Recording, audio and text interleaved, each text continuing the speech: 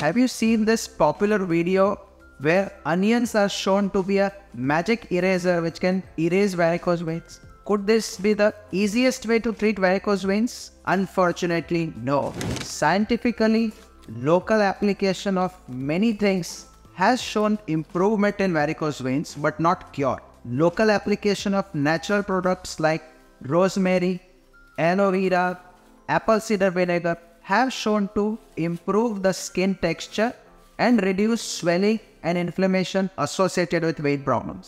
But they are not proven to cure the underlying valve or vein problems. To understand more about the science of veins, stay connected.